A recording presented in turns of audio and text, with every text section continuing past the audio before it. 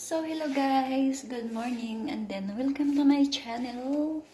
So, ayan po. ah yung ano namin, yung lemon, matutuyo na siya. Parang yung humawak, matutuyo na. so, ayan guys. I-ano ko siya, ilagay ko siya yung lemon, and then lagyan ko siya ng orange sa taas. So, ito po siya, orange.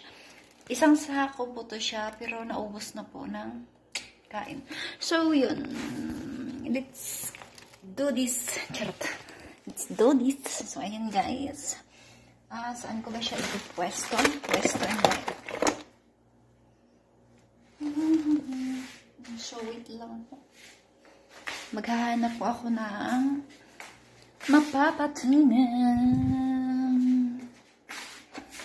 So, dito po sa ibang bansa, kapag ka, ano, kapag ah, mga ganitong oras or tulog na sila, hindi na talaga ako nagsusuot ng uniform, nakapangbahay na ako.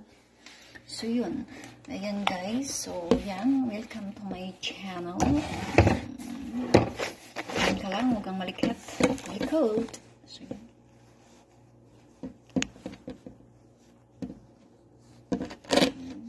Meron ako ano, pero hindi ko siya ginamit. So, ayun. So, kailangan ko ba siyang gamitin? kailangan ko ba siyang gamitin, guys? So, ayun.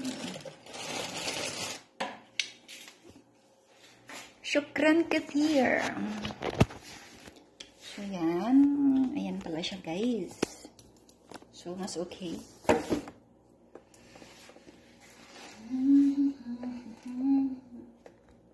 So, ayun na siya. Ito po siya ay orange.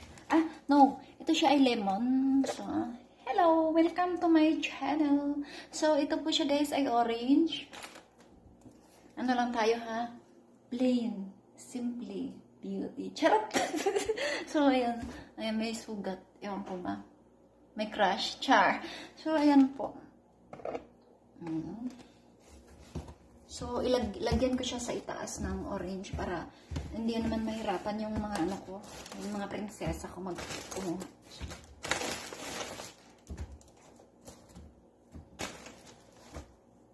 Ano siya guys, yung mm, ang tawag dry, dry na siya kasi sa sobrang tagal, so dry orange. dry. Pero ano siya, masarap. Nag-aagaw yung ano, nag-aagaw yung tamis at saka asim. As asim. Asam. so, yun. Sabi na ko, ichosera.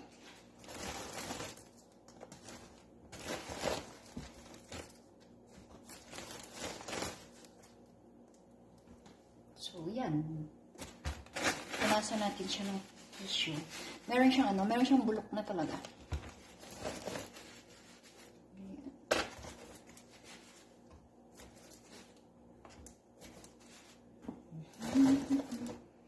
So, sa baba ay orange. Ah, no? Oh, ang bulok na siya. Kaya pala iba yun. Kaya pala iba ang amoy kanina dito sa ano. Bulok na talaga siya. So, yan.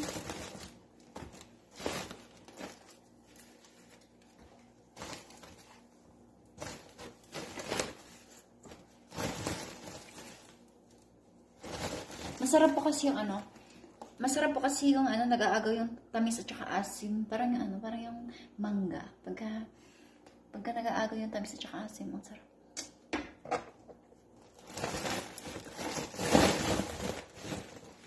Sikat ay malibatad Namunang labasin Sikaman ni Ay